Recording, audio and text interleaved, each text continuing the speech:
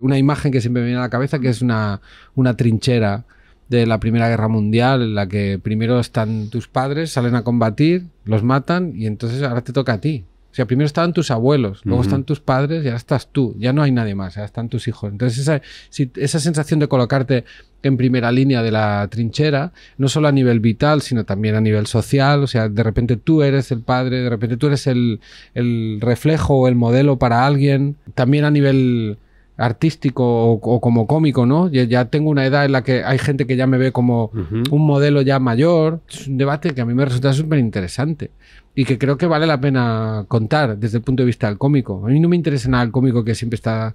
eh, o sea, ha creado un personaje muy potente y lo va a mantener hasta el final. No me interesa nada. Yo de un cómico quiero ver todas las dudas, las fisuras, los momentos de, de vacilación, porque ahí es donde está la, la comedia.